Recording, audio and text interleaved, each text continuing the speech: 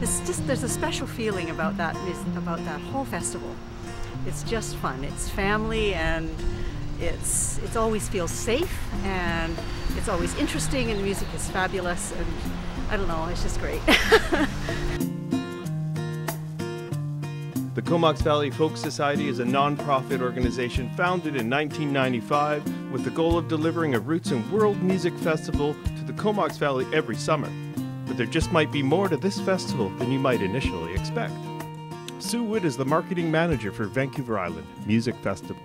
Recent Canadian studies have shown that festivals of the, our size, like the Vancouver Island Music Festival, generate four to five dollars per dollar spent.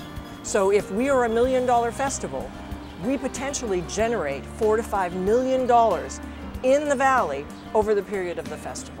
That's a significant contribution to any economic environment. Doug Cox is the artistic director for Vancouver Island Music Festival. We're recognized internationally as one of the best festivals in the world at this point in time, and our contribution economically to the community, both the music community internationally and the local community, is significant.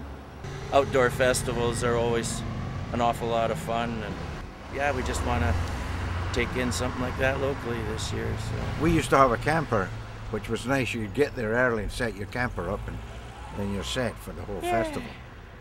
But, uh, but otherwise, we love it, and we love Vancouver Island. This lineup um, for a marketing manager is uh, magic. Uh, it's selling itself. So Friday night, uh, two of the headliners that are playing Friday night are Richard Thompson and K.D. Lang. Saturday night, uh, Emmylou Harris and the Sheepdogs. Sunday, Laurie Anderson and Buffy Sainte-Marie and Matt Anderson. And then one of the things that I'm really excited about this year is Sunday during the day, we, we always have our big gospel concert to kick off the festival. We have a 50 member African choir that's going to be coming and performing. And then following that, Sunday daytime, we have the Be Good Tanya, so be doing their show on the main stage as well. So it's the first time we've had a headliner really on the main stage during the day. But we've got so many great performers this year that we couldn't fit them all into the nighttime lineup. So for the Be Good Tanya fans out there, they'll be playing Sunday during the day.